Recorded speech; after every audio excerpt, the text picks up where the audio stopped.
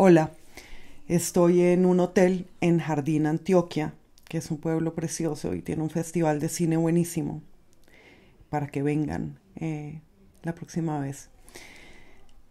Quería hablar sobre la muerte de la reina Isabel II de Inglaterra, las reacciones eh, del público, digamos, o del público de las redes sociales, que uno nunca sabe si eso se llama un público o no, o se llama autómatas, o cómo, cómo llamar a, eso que no está en el espacio público y que no es una voz colectiva, pero en fin, eh, las reacciones tras la muerte de la reina me llevaron a pensar en cómo descartamos reactivamente todo lo que nos ofrece el mundo, creyendo que estamos obligados a una toma de posición y que la principal respuesta a cualquier hecho o fenómeno es tomar posición, decir me gusta o no me gusta, me cae bien o me cae mal, y con eso nos perdemos de mucho. Eh, el imperativo de la toma automática de posición nos lleva a creer que todos somos distintos, distintísimos eh, y paradójicamente, o no, paradójicamente, contradictoriamente, nos lleva a pensar en, a creer en esa diferencia bajo la creencia o al defender la creencia de que todos somos iguales. Entonces, eh, en el caso de la muerte de la reina y en el caso de la reina y de las opiniones sobre la monarquía que su muerte suscitó, presuponemos que somos radicalmente distintos de los reyes para defender el hecho de que somos iguales, en vez de darnos cuenta desde el principio que tal vez somos iguales. La, la reina y la monarquía, la institución monárquica, y esta reina en particular, y cualquier reina y las coronas, tienen distintas dimensiones. Entonces una puede ser la histórica, política, y hay otra que es la psicológica, alegórica, y puede ser también llamada la, literaria. Nosotros podemos pensar en el plano de lo eh, de la doxa que se deriva de lo histórico político y es un plano desde luego necesario y podemos hablar del colonialismo, podemos hablar de eh, la existencia de una institución monárquica y la figura del vasallaje y la exención de impuestos y un montón de cosas. Pero luego tenemos que recordar que todo rey y toda reina y todo príncipe y toda princesa y todo mago y todo monje y todo campesino también pertenecen a un orden alegórico y tienen una existencia intrapsíquica. Es decir, dentro de cada uno de nosotros hay un rey o una reina, o dicho de otro modo, nosotros somos de alguna manera también una reina y un rey, porque somos los dos géneros todos. Y somos un príncipe y una princesa, y somos un perro, y somos un mendigo. Eh, en esa medida, todo rey y toda reina, y sobre todo esas figuras, ahora diré por qué, son un rey y una reina de cuento, y por tanto su existencia se dirige a la de cualquier lector o lectora que escuche sobre ellos. Sobre todo, el rey y la reina son figuras que existen, entre otras cosas, para decirnos algo de cada uno de nosotros.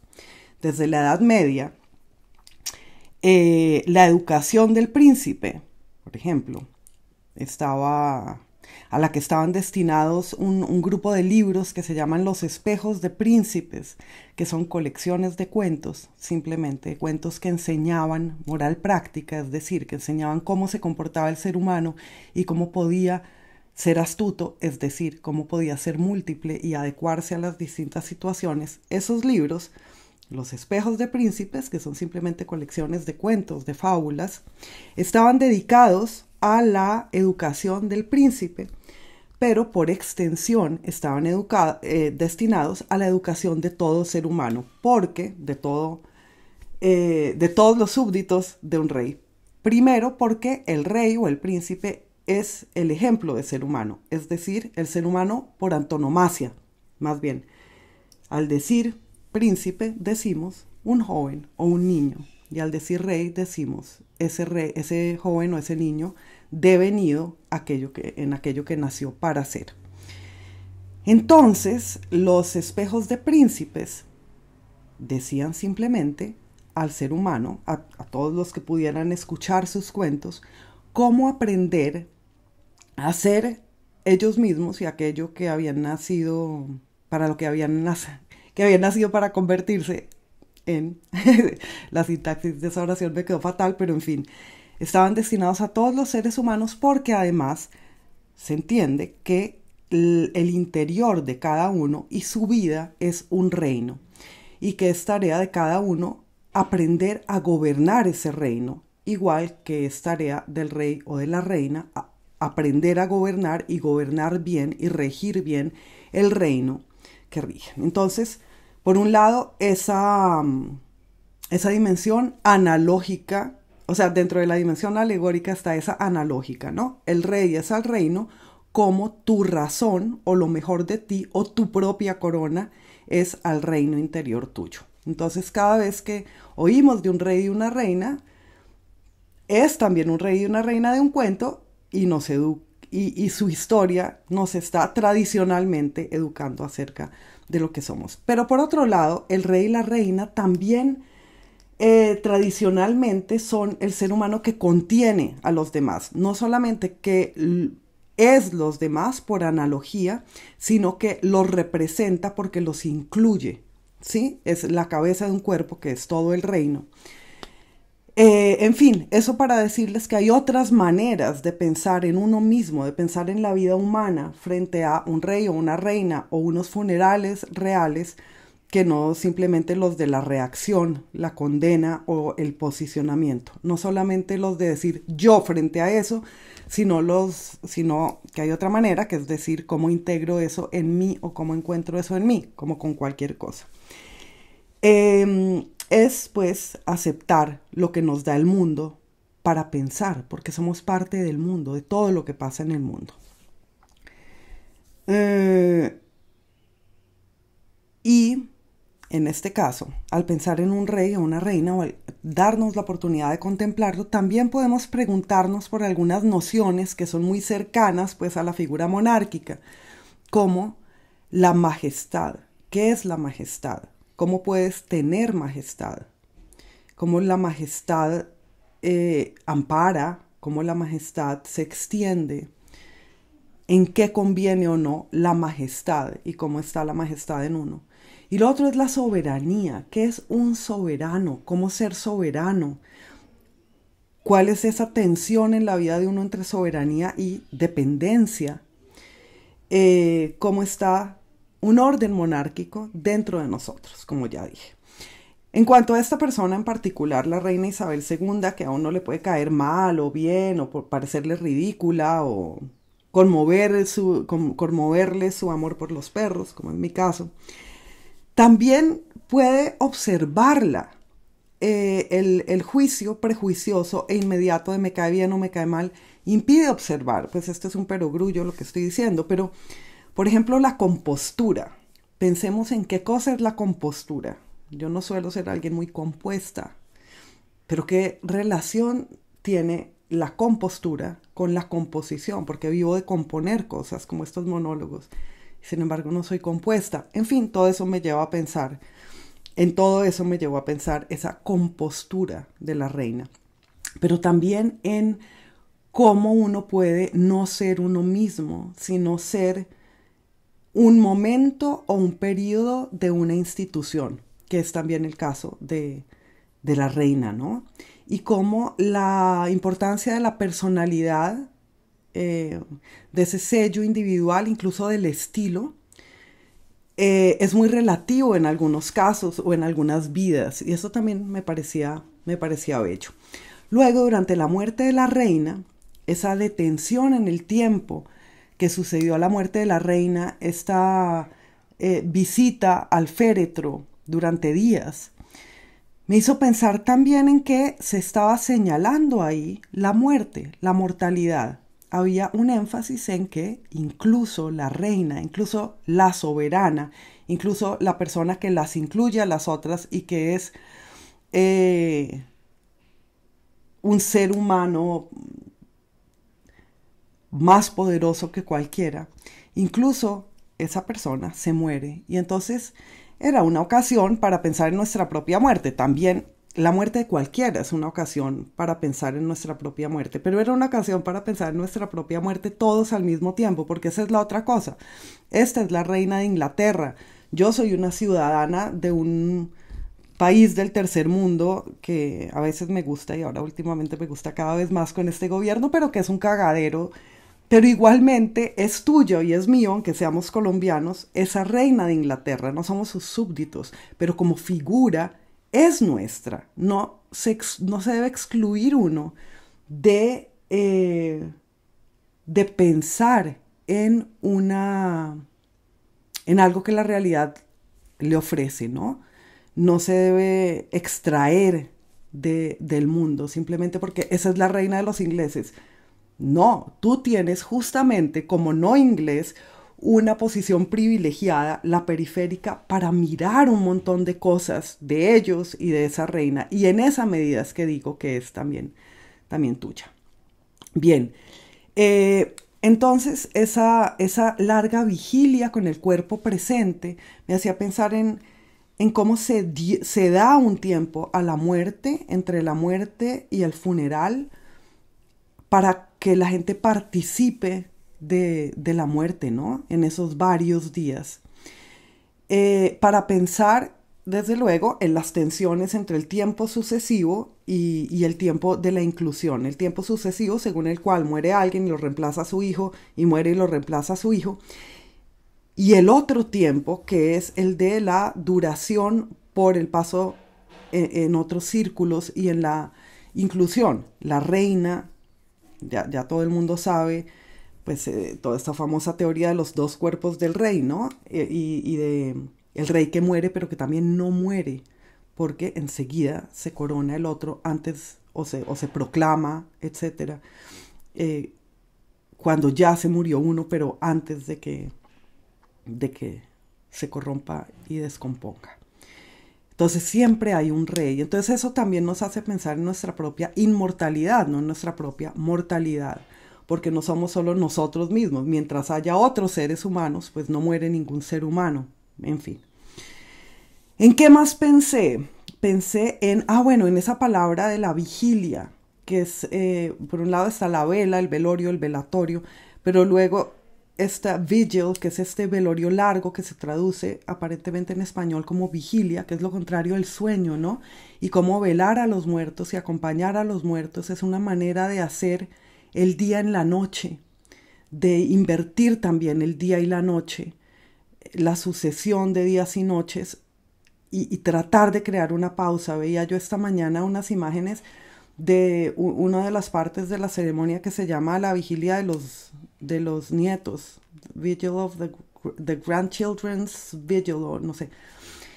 Eh, estaban los nietos de la reina guardando, eh, parados en, en, em, distintos lugares en torno al, al catafalco con el féretro quietos, silenciosos y con la cabeza agachada, esa manera de tratar de conservar una sola posición inerte frente al cadáver para guardar el cadáver tiene mucho que decirnos acerca de la muerte también, ¿no? El público pasaba, entraba y daba vueltas al recinto vestidos además de cualquier manera, mientras que los nietos de la reina estaban ahí presentes con sus mm, relativas galas y de luto.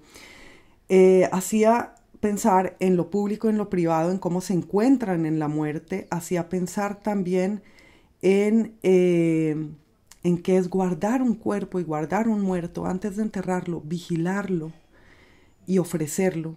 Y hacía pensar en, eh, y me hacía pensar en, eh, en cómo los súbditos de un rey y los que no somos súbditos de ninguno, somos siempre, a ver, siempre somos como de alguna manera turistas. O sea, hay una pertenencia, turistas en nuestra propia tierra, hay una pertenencia en las monarquías que no es necesariamente buena, pero y que además de pronto solo atañe a la nobleza en las monarquías y los, y los plebeyos somos siempre como turistas y siempre estamos vestidos sin investiduras y sin hábitos y por eso siempre somos un poco externos, lo cual nuevamente nos daría un punto ventajoso para contemplar eh, la monarquía y sus juegos con el tiempo. Pero en fin, eso. También pensaba en, eh, en los imperios, en lo imperial, en la ruina del imperio, como es el caso del imperio británico, en qué es y en la diferencia entre lujo y solemnidad. Veía yo pues esos trajes, veía ese curioso traje además de los guardias con el, con, ¿cómo se llama? Que me da rabia no saber las palabras, pero la banda esa que no pasa por debajo de la cabeza, sino por debajo de la boca y que convierte eso casi en el freno de un caballo.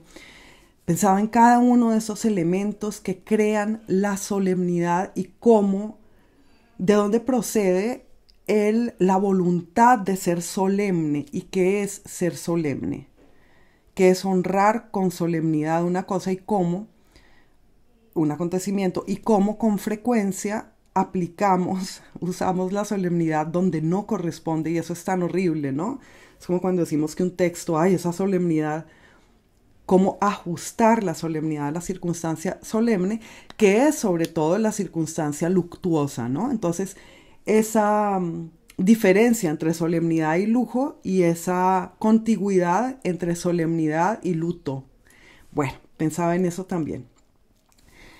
Y, ah, y por último, me llamó mucho la atención en los días siguientes a la muerte que eh, la gente criticó mucho al, príncipe, ex príncipe Carlos, ahora rey Carlos III, que cuando iba a firmar se le ponía, le, estorbaba el tintero y además luego la pluma no le funcionaba.